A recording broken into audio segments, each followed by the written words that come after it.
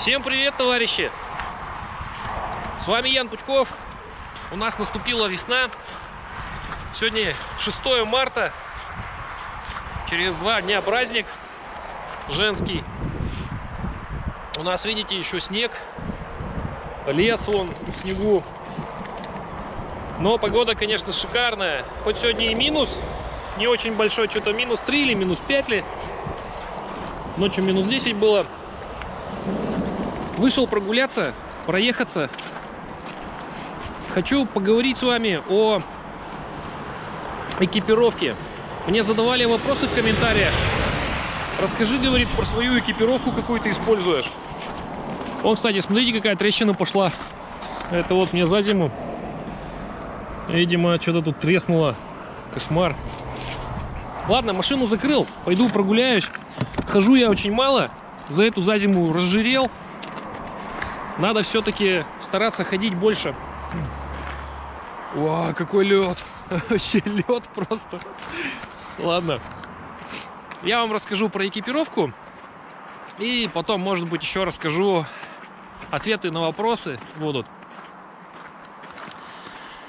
Какую экипировку использую я? И к чему я пришел, так сказать? Я ведь уже все-таки опытный мотоциклист. Ну, по крайней мере, я таковым себя считаю. А опытный мотоциклист, он всегда может...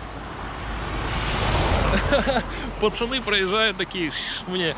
Вообще что-то столько машин отсюда выехало. У них там мероприятие, видимо, какое-то, что ли.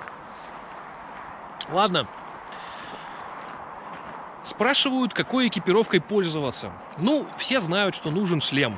Все знают, что нужна там черепаха, мотокуртка, мотоштаны или там наколенники, мотоботы. Ну, мотоботы большая часть начинающих мотоциклистов никогда не приобретает, потому что это вещь очень дорогая, непонятная для многих, зачем она нужна и так далее. Ну, я, поскольку уже поездил, не первый сезон, не на первом мотоцикле, могу сказать, что мотоэкипировка – это последний шанс, который, так сказать, дает вам технология вот сегодняшняя. Раньше ведь не было в советское время никакой экипировки, только шлемы были, горшки вот эти вот с козырьком. И все, по сути. Опять кто-то едет. Только шлем, как говорится, советский. Если зима, так шапка под этот шлем, телогрейка там, я не знаю, валенки, ватные штаны с баллоневой, с баллоневой этой тканью, чтобы не промокали. Ну, что-то такое. А сейчас технологии такие, что они экипировку нам позволяют приобретать очень технологичную, очень грамотную. И это я уже на себе ощутил, что когда ты экипирован правильно, ты можешь практически в любое время ну, года, наверное, я слишком круто скажу, потому что зима все-таки это довольно экстремальное время, но и то в любое время года, зимой даже, можно ездить на мотоцикле, если, конечно, вы можете. Потому что вот буквально на днях, в конце февраля, когда провожали зиму, встречали весну, у нас была мотомасленица. В этом году я, правда, туда не поехал, было много дел, и вот на этой мотомасленице туда приехали, ну, понятно, что все колясычи, эти Юпитера, Урал, там еще что-то. Потом Honda Goldwing, там скутера, которые с колясками. все эти ребята, конечно, приехали туда. Ну и эндурщики. Эндурщики, которые себе шипы вкручивают, все они зимой ездят. Так ведь они как-то ездят зимой, экипировка ведь у них какая-то есть, как-то они ведь что-то делают, как-то одеваются. Вот я и говорю, сейчас у вас есть шанс ездить на мотоцикле нормально одетым, красиво одетым. Вы можете э, быть защищенным, удобно одетым и красиво выглядеть. Это на сегодняшний день позволяет нам, так сказать, технология производства вот этой вот одежды. И еще огромный плюс есть. Это, конечно, БУ вещи. Секонд-хенд из Европы, там еще откуда-то из Америки, я не знаю. Шмотки, грубо говоря, в несколько раз дешевле, чем они новые стоят. Ну, плюс китайские производители. Ладно, это такое предисловие, я сказал. О, хорошо, вообще погода классная. Когда вы собираетесь ездить на мотоцикле, будь это малокубатурник, будь это среднекубатурник или многокубатурник, литр там или еще что-то тяжелое, в принципе разницы нету. На 100 километрах, если вы свалитесь куда-то, не дай бог, вот, если вы куда-то полетите в кювет там или еще что-то, вам мало не покажется. Даже на велосипеде можно разогнаться до 50, например, километров в час горки. Если ты там вылетишь, очень сильно пострадать можно. Поэтому велосипедистам даже говорят, шлем хотя бы одевайте шлем. Вот. Для мотоциклистов все эти падения даже не обязательно на высоких скоростях. Например, можно вообще, грубо говоря, на стоячем мотоцикле, если вы новичок, купили себе тяжелого японца, еще ни разу не ездили ни на чем, кроме самоката, тут же вот э, случайно где-то на кривой почве уронили его себе на ногу, он вам прижмет ногу в шортах, в штанах или как там, вам мало не покажется. Для этого существует экипировка штаны, боты, наколенники и прочее. Все, что защищает самые уязвимые участки тела. Это колени. Колени, ну, коленный сустав это вообще такая вещь, если ты его повредил, даже бывает просто заморозил немножко или ударился, он уже долго начинает болеть. Это такие вещи. А самые страшные травмы бывают это, конечно, ноги. Ноги, вот ступни, вот эти вот косточки боковые и прочее. Я знаю случаи, когда Товарищ на мотоцикле ехал, и перед ним начала разворачиваться газель. Он, грубо говоря, как-то начал э, затормозил, и как-то его боком понесло, и получилось так, что он боком ударился об эту газель ногой. И у него зажало между мотоциклом и газелью ногу. Ему раздробило все вот эти вот косточки. Это кошмар. То есть мотоботы, вот если бы на нем были нормальные мотоботы, удара бы такого не было. Был бы ушиб, синяк максимум. Вот. То есть все это нужно обязательно. О. Точно какое-то мероприятие там было у них. Я не знаю, что там дальше, какая фирма, какой там завод и так далее. Но там шлагбаум, туда никого не пускают. Мы тут летом снимаем ролики наши.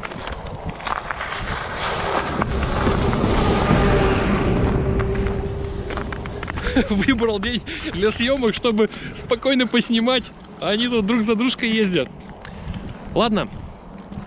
Сейчас я вам расскажу про попроще что-нибудь. Мотоботы, мы к ним еще вернемся. Есть такая штука, как шлем. Шлема бывают разные. Шлема бывают китайские. Например, с Алиэкспресса шлема, всякие там с ушками, еще какие-то, ну, такие модненькие всякие. Но безопасность таких шлемов, я думаю, она никакая. Никаких тестов, никаких стандартов у этих шлемов нет.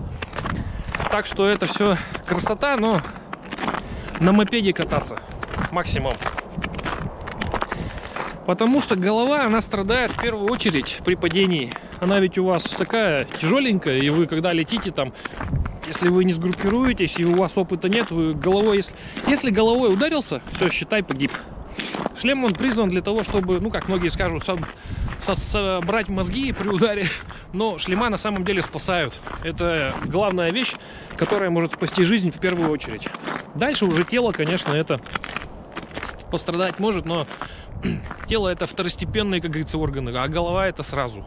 Если ударился крепко, то до свидания. Поэтому на шлемах экономить не стоит. Ну, ну, как говорится, шлема сейчас тоже вот очень много марки, э, маркетинга. Есть такие шлема, как LS2. Я сам присматривал эти шлема сначала. Но, честно говоря, я уже до этого ездил. У меня был MT Helmet хороший, качественный. Не знаю, как сейчас MT Helmet производят, но 10 лет назад MT Helmet были великолепные шлема. Он стоил что-то около 10 с лишним тысяч. Сейчас MT Helmet тоже и по 6, и по 7 есть. Не знаю, то ли то, то, то это не то качество, но когда я потрогал LS2, одел его, он мне показался немножко простецким.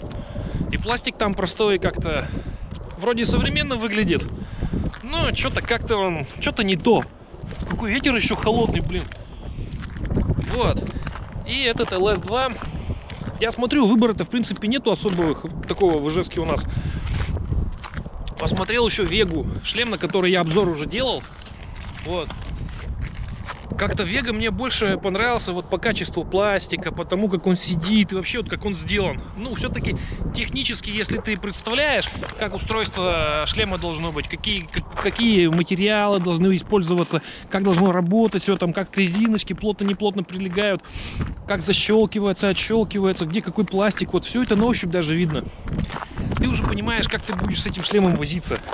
И потом, уже в процессе эксплуатации, через год, там, через два, выяснилось, вот мы с Серегой ездим на мотоциклах, я не говорю, что у него плохой шлем. Ему он очень нравится, он в нем катается, он в нем много уже проехал всего и так далее, и так далее. Его устраивает.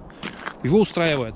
Но такое замечание, что когда вот мы с гарнитурой ездим, у меня здесь микрофончик вклеен, и у него микрофончик вклеен. Ну, у нас за, за, закрытая шлема, интегралы со стеклом, там, с плотными и так далее.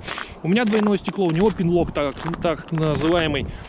Вот, и получается так, что когда мы с ним по интеркому разговариваем, он слышит меня тихо, он не слышит шума ветра вообще. У нас гарнитура абсолютно одинаковая. А я его слушаю когда? В наушниках. Так ведь невозможно слушать, там вот постоянно вот этот вот ветер шумит. Только иногда, когда вот он до 40 километров сбавляет скорость, ну, в принципе, можно тихо его слушать. Но невозможно. Очень сильно, очень громко шумят помехи вот в этом шлеме. То есть где-то постоянно задувает. Аэродинамика такая, что в шлеме там постоянно гуляет ветер у него.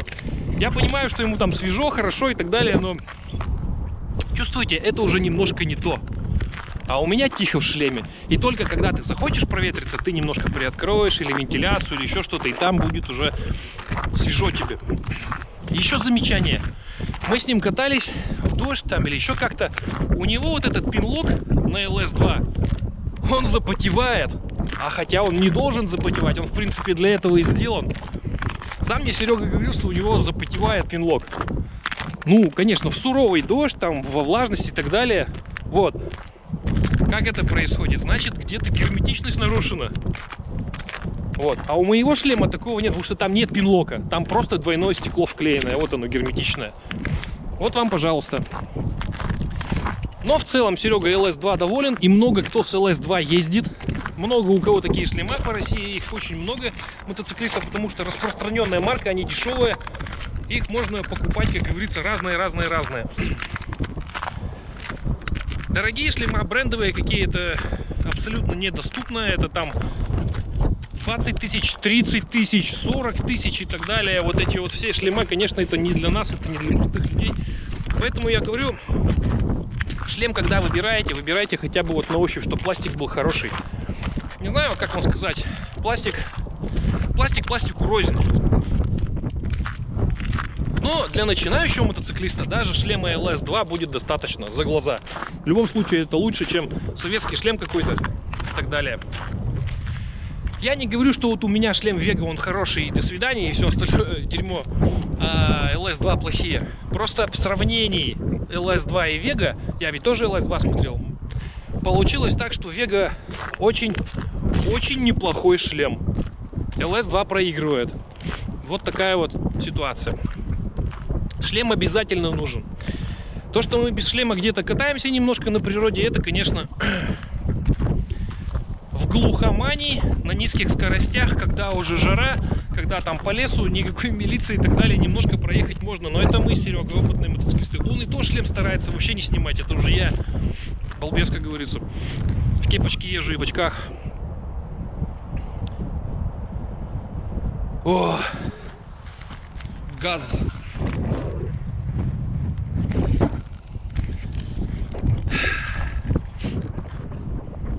Заледеневшая белая даль Удмуртии и трубы.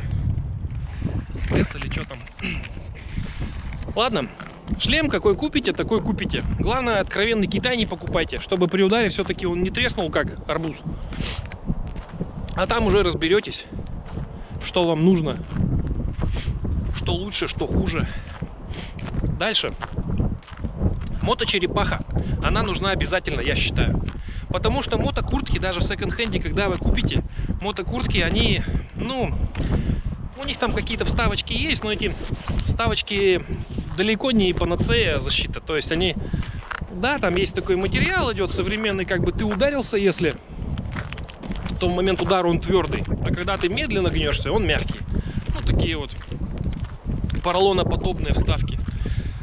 Но я в куртке езжу, например, сначала моточерепаха у меня, ну, сначала водолазка у меня идет хлопчатобумажная для отвода пота, там, для вентиляции, для того, чтобы к телу приятно было. Потом идет моточерепаха, а уже на моточерепаху я одеваю куртку, если холодно. Вот так вот. И когда у тебя моточерепаха, еще и куртка со вставками с этими, то получается вообще непробиваемая броня, и в ней ты едешь уверенно, спокойно, тепло. Ну и, конечно, моточерепаха, она предотвращает доступ к этой к внешней стороне, к холодной стороне. Потому что, когда тебя, если ты еще без стекла ездишь, куртка моментально выветривается, холодеет, и все это, весь этот холод продается, передается тебе. А моточерепаха, она отодвигает куртку, и то есть ты едешь постоянно, не соприкасаясь с курткой. Куртка, куртка конечно, теплая, но, в принципе, когда очень долго и холодно, даже куртка промерзает. И в дождь бывает, все равно швы у курток, они немножко где-то через нитки протекают там и так далее. Поэтому моточерепаха под курткой, вот как я езжу, она намного лучше. Это в два раза теплее тебе будет. И не жарко, потому что гуляет под черепахой воздух, под курткой. Хочешь вентиляцию сделать, расстегнул немножко манжеты, ну, курточку приоткрыл, и у тебя немножко задувает туда, проветривает, если нужно вентиляцию такую сделать. Если холодно, раз закрыл, и все хорошо. У меня мотокуртка и черепаха. Дальше. Штаны. Ездить, конечно, лучше в каких-то плотных брюках с ремнем. Почему с ремнем? Потому что я, бывает, езжу в трикошечках, в таких летних, но когда жара 30 градусов, реально невозможно просто ездить в джинсах. Начинаешь ездить вот в чем-то легоньком. Но это опасно тем, что не дай бог ты упал, не дай бог у тебя скользячка, все эти штаны у тебя снимутся до жопы, как говорится, до голой, и покатишься ты вот так вот. А ремень, он не даст джинсам слететь. Это тем, кто любит джинсы. Лучше с ремнем. Но на джинсы обычно, вот как Серега или я, мы всегда одеваем, конечно, наколенники. Наколенники я одеваю сверху, потому что у меня они очень большие, большого размера. Наколенники тоже фирмы Vega, еще старого изготовления, им несколько лет уже. Такие, у них там даже логотип сейчас другой. Но, как выяснилось, наколенники очень прочные, очень качественные. И, в принципе, многие говорят, что ты эти Ого, скрипят деревья. Говорят, что что ты эти наколенники одеваешь поверх джинсов, потому что все это фигня. Это в момент падения они тебя не спасут. Ну как не спасут? Алексей Коровин, путешественник, царство ему небесное, умер, кстати, не от того, что он упал на мотоцикле где-то, повредился. Он умер от малярии, по-моему, заразился в Африке или что ли где-то там. Вот, от инфекции. Он всегда ездил на коленники, ну, часто очень одевал поверх штанов. Вот так вот. Я вам тоже говорю, что лучше ездить в наколенниках поверх штанов, чем вообще без них. Вот так вот. Если они у вас не влазят под штаны, ну, оденьте сверху. В любом случае, при ударе, когда ты фронтально ударишься коленами, оно будет на коленнике, будет лучше. Или ты упадешь на наколенник. А загнется, не загнется он, это еще неизвестно. Да и потом сейчас наколенники делают достаточно с такими плотными манжетами, с ремнями. Можно все это затянуть хорошо, и у тебя, в принципе, наколенник будет очень серьезно сидеть. У них разное бывает облегание ноги. Пойду, наверное, я назад. Хочу туда идти. Наколенники. То есть всегда нужно одевать наколенники. Они, во-первых, спасут от удара и спасут от ветра. Если ты едешь на мотоцикле с голыми коленями, даже летом можно колени, в принципе, простудить. Вечером там минус, ой, минус говорю, плюс 10, плюс 4, ну плюс 10-то это уж, наверное, совсем отморозишься. Плюс 14 уже будет холодно, все колени себе отморозишь. А в наколенниках совершенно по-другому, намного теплее. Ну и потом всякие встречные камушки могут прилетать. Даже какой-нибудь жук, если прилетит в колено, на скорости мало не покажется. Экипировку я обязательно покажу свою. Сейчас просто она у меня в гараже, там все завалено. Так это просто не достать ее сейчас. Будет потеплее. Я вам все это покажу по солнышку, по теплу, в гараже рядом с мотоциклом с новым. И давайте спускаемся ниже. Это мотоботы. Мотоботы у меня появились. Хорошие немецкие, почти новые. Мотоботы очень дорогие, но я купил их по сходной цене. Вы их уже видели у меня. Это такие блестящие сапоги кожаные. Они, во-первых, очень хорошо вентилируются, и у них хорошая защита. В них ты себя чувствуешь намного увереннее в любой дороге, э, по любой погоде. В принципе, летом в них не жарко, если, э, как говорится, у них там вентиляция вот эта. Если их не зашнуровывать намертво, в принципе, в них нормально, не жарко. Чуть-чуть проветрил, когда приехал куда-то, и все. И они спокойно, не сырые, ничего. Очень удобно, комфортно в мотоботах. Это необычная обувь. В простых кроссовках, в кожаных вы можете, у вас ноги взапреют, а в этих точно нет. Мотоботы нужны обязательно. Сколько раз уже замечал, что если ты в кедах в тоненьких, в резиновых сапогах в дождь, там на голую ногу и так далее, даже простая подножка от мотоцикла, возвращаясь, она может ударить тебя по ноге и уже тебе стукнуть. А представьте, мотоцикл вам на ногу упадет. Или где-то вы стукнетесь об камень, будете проезжать по лесу. О, это очень можно сильно... Да палец можно сломать. То есть мотоботы, они must have. Всегда смотрите, подбирайте. Их тяжело подобрать, они не всегда есть в наличии. Но в каких-то там секондах, в хорошем состоянии, на ваш размер и так далее, которые бы вам понравились. Ну и стоят они недешево, дороже, чем куртки и штаны там всякие. Ладно, про мотоботы пока. Сейчас я вам расскажу про штаны, какие у меня штаны. Я купил себе кожаные штаны. Всегда у меня была такая мечта попробовать. Кожаные штаны мотоциклетные, они идут с подкладом, с приятным с таким. И они у меня на лямках. Как это называется, блин? Лямки у штанов. Очень удобно. То есть, когда ты садишься, если у вас тем более пузика немножко, ты садишься, пузика вперед, и в тесных штанах, в узких, тебе будет некомфортно, постоянно будет пузо давить. А здесь нету никакого ремня. Он там есть, конечно, можно его застегнуть, но если хочется свободы, просто на лямках эти штаны висят. Они плотненькие, очень удобные.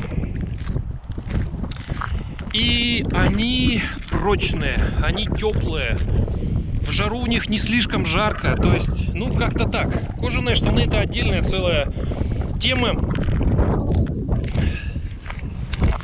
О, какое ветрище. Все-таки еще зима не отпускает нас. Капец. Не знаю, тут защита от ветра должна быть. Вот проверим, как она работает. Кожаные штаны. Мне они очень нравятся. И самая фишка этих кожаных штанов. Вот ты одеваешь какую-нибудь трикошечку, ну, термобелье там, одеваешь кожаные штаны, в принципе, тепло, комфортно. И сверху, там в самих штанах уже есть как бы вкладыши такие немножко на коленях, уже хорошо. Но если ты еще сверху на коленники одеваешь, это вообще просто броня двойная. Можно этими коленями, там, ворота металлические, пинать ничего не будет. Я пробовал. Очень классно. Сидишь комфортно, сухо, тепло.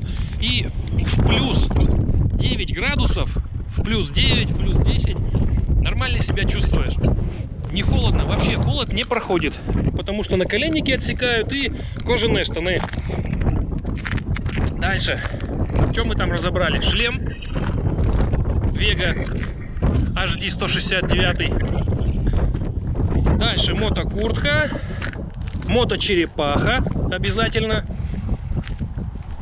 кожаные штаны и мотоботы, наколенники. Ну и перчатки. Я вот замечаю, что многие ездят вообще без перчаток. Где перчатки-то у народа? Как-то на мотоцикле катаются, не, даже простые велосипедные перчатки не одевают. Ну как? Как можно кататься без перчаток? Малейшее падение, ты все руки в кровь себе об, об асфальт раздерешь. Я с велосипеда падал, мне не понравилось, мало приятного. Потому что упав с велосипеда, в тонких перчатках, в защищенных хотя бы, защитой. Это мне как-то спасло. Руки немножко синяк получили, но и все. Ну а так об асфальт у тебя чем? Что, кровь будет? Ссадины, это все кровь. Ужас. А на мотоцикле упадешь, так вообще. Так что перчатки обязательно должны быть. У меня летние перчатки, ну, летние. Я их и осенью, конечно, использовал. Они просто кожаные, с защитой такой, очень удобные. Вот, тоже, по-моему, Вега. А, нет, вру, Мичиру, Мичиру. Ну, так, нормальные, где-то около 3000 они стоят, новые. А перчатки, которые сейчас у меня появились, теплые, утепленные, я на них обзор уже сделал, там, в предыдущих роликах. Вот в них буду кататься по весне, когда холодно. Ну и осенью. В общем, давайте подытожим.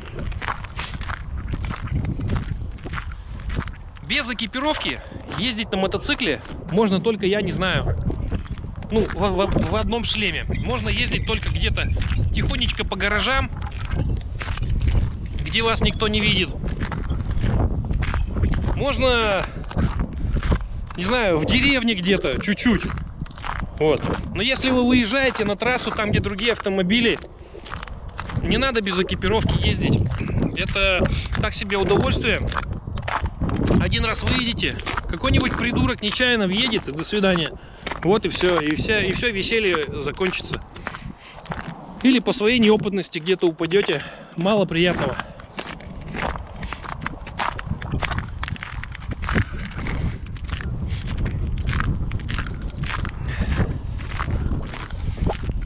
Блин, прохладно. Сейчас у меня, наверное, уже батарейка сядет. Холодно. Все-таки минус 5 или минус 7. Капец, у меня коленки замерзли. Вот, сейчас бы на коленнике были, я бы не замерз.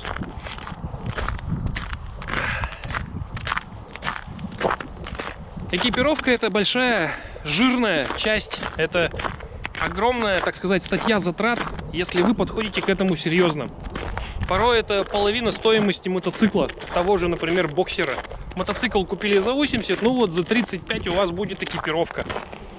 А если еще кофры, багажники и прочее, ну вот вам еще один боксер. Но без этого никуда. Далеко путешествовать безопасно и комфортно можно только полностью экипированным. Поэтому мы с Сергеем путешествуем. Сергей экипированный, я экипированный. Мы знаем, что мы защищены как-то хотя бы. Вот. И Катаясь по городу, кстати, экипировка вас спасет, скорее всего, вообще 100%. У Ильюхи он были наколенники китайские, дохленькие-дохленькие. Он за мной ехал, что-то там пережал передний тормоз, упал на этом мотоцикле, докупал прямо на коленку. Прямо на коленку, и у него загнулась там эта металлическая пластина. Она загнулась и ну, он, он, ну, он ее потом просто выгнул у наколенника. У самого, у пробайкера, или как он там называется, дешевые на, наколенники. Но с коленом все в порядке. Он даже не почувствовал, говорит, понимаете? А если бы он коленом ударился, он высокий, у него, как говорится, ну, высокий, худой, и коленом бы ударился об асфальт. Что приятного? Расшиб бы колено себе. Это он был на мопеде, на Альфе. Вот, а был бы на тяжелом мотоцикле, что бы с ним было? Я много случаев знаю, мотоциклисты мне рассказывали. Вот на Honda Shadow 1100 у нас там один товарищ упал. Но он на скорости упал, скользячка у него была, и мотоциклом ему зажало ногу между асфальтом и мотоциклом. В общем, ему очень сильно ногу повредило, он ее восстанавливал потом. И он так и проскользил, видимо, остановился. Кто-то ему помог подня... остановился кто-то, приподнял ему мотоцикл и вытащили ногу. С ногой что попало было. Это еще даже при нем, он в каком-то наколеннике был, но штаны были обычные. Такие тряпочные, вот что-то типа костюма горки. Как это, комбинезоны такие защитные, легкие штанишки, не кожаные штаны. Вот. Хромает до сих пор, и на всю жизнь ему это осталось. Вот эти вот круизеры огромные, тяжеленные. Подумайте 10 раз. Понимаете, да, о чем я вам говорю? Конечно, ситуации разные бывают, но Одно дело на боксере, на авенджере упасть, на мопеде, как люди говорят. Другое дело вот на таком огромном мотоцикле. Я лично видел, как он после дождичка выезжал из сельской местности, так размытая грязь, трава вот эта сырая. Он несколько раз упал, мы ему поднимали этот мотоцикл, потому что он крепкий, здоровый мужик, но все равно мотоцикл очень тяжелый, еще с кофрами с этими. Это такое удовольствие, что съезд на природу после дождика вы вряд ли один можете. Ну, вернетесь, может быть, но измучаетесь и не захотите больше ехать на таком тяжелом мотоцикле. Вот так вот. Как хорошо гулять. Тишина. Вот ветра больше нет. Вот, снегоход тут какой-то ездил. Прямо вот тут он заезжает с дороги так, вот туда в поле. Мне тоже говорят, летом на мотоцикле ездишь, а зимой катайся на снегоходе. Ну, надо купить снегоход еще себе. Жду не дождусь уже, когда мне Доминар придет. Но уже скоро. Я думаю, в середине марта я его ожидаю. Ну, как всегда, ждешь раньше и придет позже. В общем, экипировка полная, полный экип. Когда ты едешь на мотоцикле в полной экипировке, ты себя чувствуешь намного защищеннее, намного комфортнее. Даже какие-то вот лишь... Вот если ты едешь в маечке, футболочке, у тебя тело, оно все такое на ветру, как тряпка. Если ты в защите, ты едешь сбито, ты даже мотоцикл держишь ровнее, ты даже сидишь как-то прочнее, ровнее, намного увереннее, уютнее себя чувствуешь. Я уже не говорю про холод и про дождь. Хорошая экипировка, это ты можешь пилить в любой дождь. Ну, вы уже там видели ролики у меня, когда я в дождь ездил. Дождь, ливень, без разницы. В нормальной современной экипировке тепло, сухо, там у тебя музыка классическая играет, а ты пилишь на мотоцикле. Это очень приятное ощущение и думаешь, офигеть, как в машине. И вот в хорошем шлеме, ничего не протекает, сухо, тихо, ничего не запотевает стеклом, что запотевающее стекло это вообще вешалка. Я даже не хочу себе визор обыкновенный, потому что я знаю вот это вот остановился на перекрестке, дыхнуло у тебя, ух, все запотело. Ничего приятного в этом нету. Весь год я катаюсь с двойным визором. Очень удобно. Ладно, ребята, всех вас люблю, соскучился. Ролики, как мотоцикл придет, обязательно начну делать, выкладывать. Планов очень много. О, какой лед, все замерзло. Ну-ка. А, скользко. По снегу он я иду. На канал подписывайтесь, лайки ставьте. Кому не нравится, ставьте дизлайки, пишите в комментариях, что какую я вам тут ерунду наговорил. Но я вам говорю по своему собственному опыту, как я уже поездил, как комфортнее всего и как безопаснее. На вопросы по возможности отвечу, пишите ВКонтакте, либо в комментариях. Всем всего доброго. До свидания.